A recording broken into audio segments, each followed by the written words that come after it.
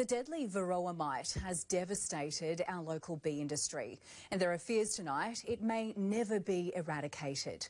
One hunter beekeeper believes potentially infected hives are slipping through the cracks, and his bees were euthanised only after he contacted the department.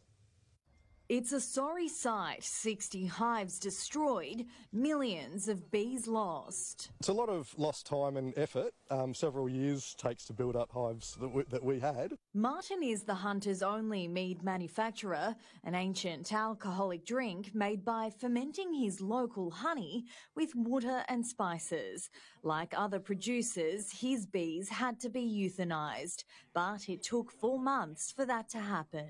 I got a bit concerned that uh, no one had contacted me. So when I contacted them uh, about three weeks ago, just to ask why is it taking so long, what's going on, um, I found out they had no idea I existed. The Department of Primary Industries was quick to destroy the hives, blaming the delay on a misunderstanding. We don't collect um, the specific locations that beekeepers put their hives at, and that's where we were asking anyone with beehives in those areas whether their address is registered in those areas or not to report the location of those hives to us.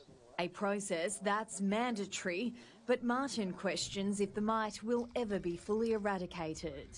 A lot of people have slipped through the cracks. Of the reported hives in the eradication zones, almost 99% have been euthanised. The state government says it's confident New South Wales can eradicate varroa mite, reporting a sharp decline in the number of cases detected in recent months. The focus now baiting feral colonies.